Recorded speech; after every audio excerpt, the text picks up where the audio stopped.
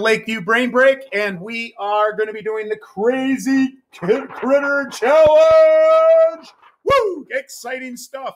I have with me the things that I need. I need this sheet right here. Uh, this is one that you could pause. You could take a picture of it with your iPhone. You could take a picture of it with your iPad or whatever device you have. So then you have it on record.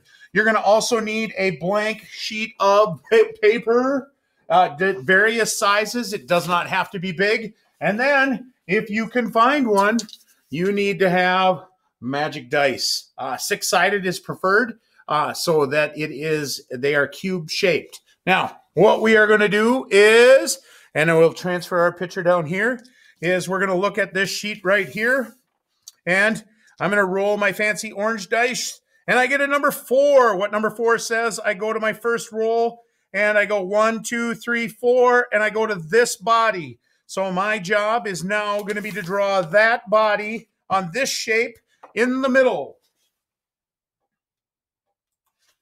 And we return, and you've seen I've drawn that shape, which was number four on my first roll. I go to my second roll, and it's going to be my head, and I get a six, which means I'm going to draw this head right there. All right, as you can see, I drew number six because that's the number I rolled. There's the head that I'm going with. Now I'm going to roll again. And I get a five. So my third roll right here says that I go one, two, three, four, and I got to add the antenna that have the little hearts. So that's what I'm going to do next. As you can see, I've now drawn my antenna that have the little hearts. So I'm going to go to my fourth roll. My fourth roll is the legs. So now I roll my dice. I get a one. So I got to draw the simple little legs that look like little L's.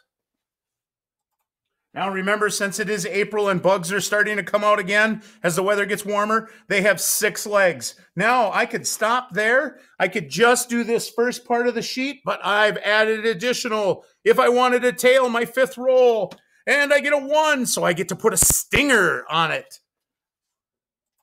I've now added a stinger to my creature, and I got my dice ready. I'm going to go for wings, the sixth roll.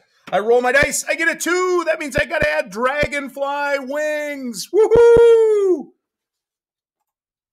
As you can see now, I have added my dragonfly wings. I drew a front pair, and then I drew a pair that is smaller than the first pair.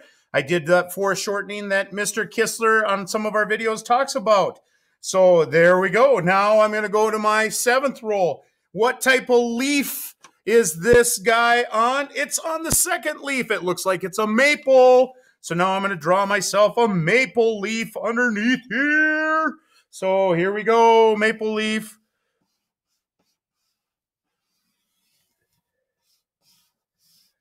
He's sitting on a maple leaf now. Some of it I can't see. I might put the other part over here.